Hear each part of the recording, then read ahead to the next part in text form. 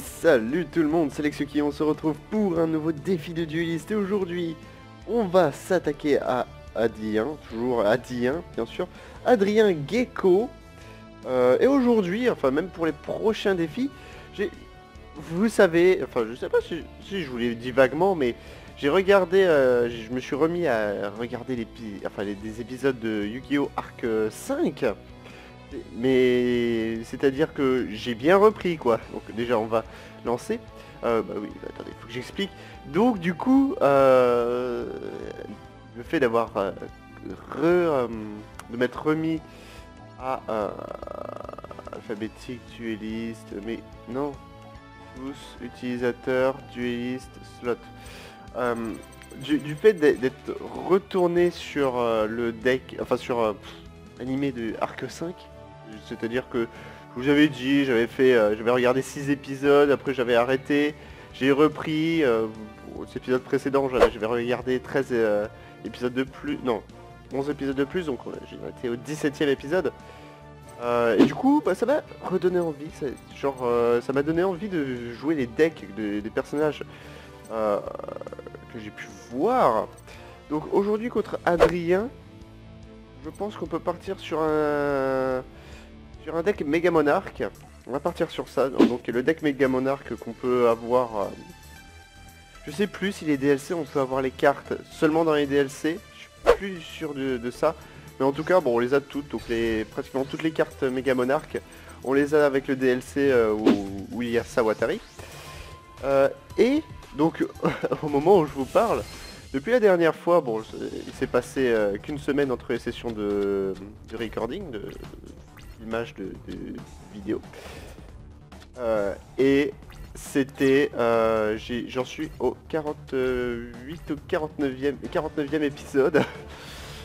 oui, j'ai regardé 30 épisodes. J'étais vraiment chaud. C'est-à-dire que, euh, non, franchement, je remercie ceux qui m'ont un petit peu poussé à, à me me dire, enfin ils m'ont ils m'ont dit sérieusement, faut, que tu continues à regarder. Le début, c'est pas forcément le top, mais quand tu continues, quand tu regardes la suite de Yu-Gi-Oh! Arc 5, c'est le feu, vraiment.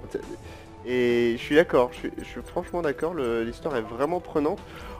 Ça reste du Yu-Gi-Oh! Ça reste un animé qui est... Euh, qui est... Hum, qui vise un public très jeune, donc il y a forcément des trucs totalement débiles que je... Voilà. Mais franchement, l'histoire est vraiment prenante, j'aime bien. Donc, euh, le deck Mega Monarch. Donc je vais vous expliquer un petit peu, bon, vite fait, puisque le but n'est pas non plus de... Je vous... D'ailleurs, je pense pas que ça va être génial dans ce truc, puisque apparemment notre adversaire n'est pas très chaud.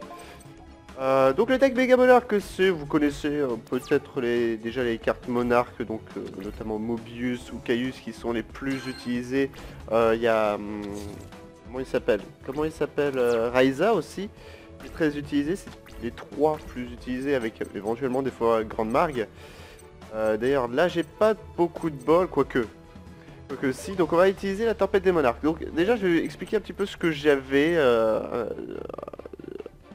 en main dès le début, puisqu'il y en a qui savent pas en fait, qui m'ont déjà demandé explique-nous les effets, etc. Donc déjà la main de glace c'est très chiant, c'est l'une des pires cartes avec la main de feu. C'est-à-dire que quand on détruit une main de glace, ça détruit, euh, enfin quand l'adversaire détruit par effet ou par combat une main de glace, et eh bien ça détruit une carte magie ou piège sur son terrain. Et je peux invoquer une main de feu. Et une main de feu, si elle est détruite, ça détruit un monstre et ça invoque une main de glace, etc et ainsi de suite. Et euh, c'est très chiant, donc c'est les pires des cartes, mais je les ai mis dans ce deck, puisque euh, je me suis dit, fuck, c'est vraiment l'une des, combos que je déteste euh, avoir contre moi, donc allez, on va l'utiliser. Ensuite, nous avons cité des monarques, on révèle un monarque de notre main pour prendre une carte magie monarque de notre deck, donc j'ai pris la tempête des monarques qui est l'une des meilleures cartes, c'est-à-dire que on peut sacrifier un monstre sur le terrain adverse pour invoquer un monstre monarque de notre terrain. Euh, enfin, comme monstre sacrifice. Autour des monarques, quand on invoque un monarque par sacrifice, eh bien, on peut prendre du coup un monarque de notre deck et le mettre dans notre main. Et voilà, donc en gros, ça, reprend...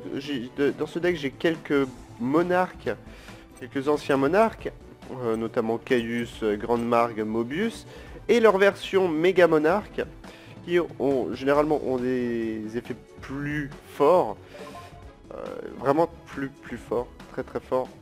Invocation, donc là je peux sacrifier deux monstres, et ils acquièrent à chaque fois un effet en plus. Donc soit on peut les invoquer avec un seul sacrifice, les méga monarques si on sacrifie un monstre qui a été invoqué euh, par euh, sacrifice. Euh, je préfère prendre un, monarque de 2400 et activer l'effet de Mobius le méga monarque. Et si on sacrifie un monstre du même, du même type que lui, eh bien il acquiert un nouvel effet. Non, on détruit pas d'autres cartes. Et généralement les effets des méga monarques euh, des effets améliorés de leur version précédente. Euh, on va prendre euh, Caius. Franchement c'est un très très bon deck. Hein. J'ai fait trois decks de personnages de d'Arc 5 qui... Enfin le, deck Chevalier Gemme, le deck Super Heavy Samurai, enfin Samurai Supra lourd, on l'appelle de la 30 Samouraï supra lourd, ainsi que... Euh, comment? Bah, Ainsi que celui-là. Et c'est, je pense, le, meilleur des trois. Pour l'instant, c'est le plus polyvalent en fait. Le deck euh, que j'ai souvent l'appelé Super Heavy, Samurai, puisque c'est ça sonne mieux, puisque Samouraï supra lourd, ah, alors que Super Heavy Samurai, éventuellement.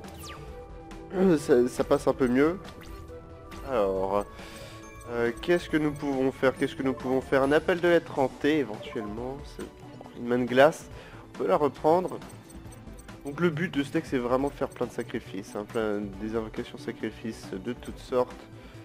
Euh... invoquer Caius. Et là, on pourra terminer le duel. Je crois, oui. Ouais, bon, si on détruit le nuagien, brouillard acide. Hein. Euh, non, quoique, on s'en fout duquel on va pouvoir détruire. Euh, on n'a pas activé l'effet, on s'en fout, on a gagné. Ça nous fait gagner du temps. Euh, je crois qu'il y a un décalage de voix, bon c'est pas grave. Et hop, on le finit, voilà. Adrien Gecko, œil du, du machin. Bref, donc j'espère que vous aurez apprécié cette vidéo et je vous raconterai la suite de mon aventure Arc 5, cette aventure Arc 5 carrément, euh, au prochain défi qui sera contre Alexia Road et son deck, la barrière de glace. Donc on se retrouve la prochaine fois. Allez, bye tout le monde, à la prochaine, bye. N'hésitez pas à laisser un like et un commentaire, vous c'est pas fait, bien sûr.